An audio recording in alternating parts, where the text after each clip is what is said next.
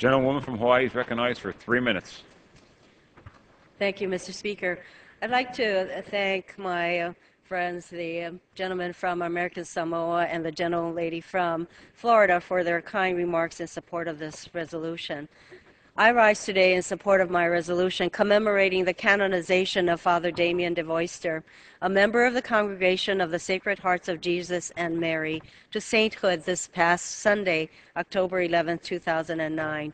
We can all celebrate the life of Saint Damien, a man who put his faith and principles into action in the service of a group of people who suffered not only the physical effects of leprosy, now known as Hansen's disease, but also from the terrible stigma associated with the disease. Father Damien is recognized for his 16 years of selfless service to the people who were forcibly isolated on the peninsula of Kalaupapa on the island of Molokai, Hawaii, because they were diagnosed with Hansen's disease. Living among the people of Kalaupapa from 1873 to 1889, he eventually contracted the disease, ultimately died from its effects, and was buried on Molokai. The policy of exiling persons with the disease that was then known as leprosy began under the Kingdom of Hawaii and continued under the governments of the Republic of Hawaii, the Territory of Hawaii, and the State of Hawaii. Children, mothers, and fathers were forcibly separated and sent to Kalaupapa, which for most of its history could only be accessed by water or via a steep mule trail.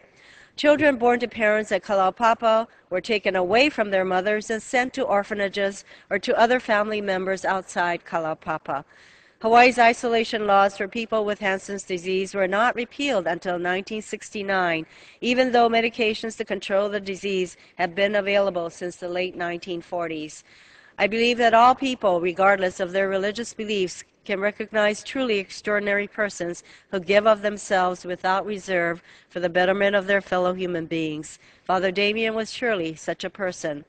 No sickness was as feared as leprosy in the late 1800s, but he volunteered to serve at Kalaupapa and requested to stay there in order to serve those who were most shunned. He recognized the human rights and inherent dignity of, of all people, especially those he lived alongside at Kalaupapa. Father Damien worked with the people of Kalaupapa to improve their living conditions. A skilled carpenter, he led in the building of houses and hospitals, six chapels, a home for boys, and a home for girls. At the same time, he ministered to the spiritual and physical needs of his parishioners and helped to bury the hundreds who died during his years there. It is noteworthy that shortly after Hawaii became a state, Father Damien was the first selection of the state legislature to be memorialized in a statue as part of the National Statuary Hall in Washington, D.C. Despite the fact that he was not born in Hawaii and lived so long ago, Hawaii's people recognize that his life embodied the true spirit of aloha, which means love, compassion, mercy, grace, and malama, which means to care for.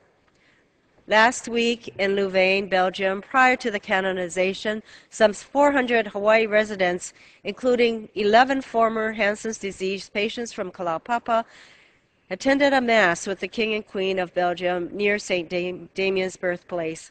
Addressing those who came all the way from Hawaii, Cardinal Danneels, a native of Belgium, said, We gave life to Father Damien. You gave him back as a saint. We thank you.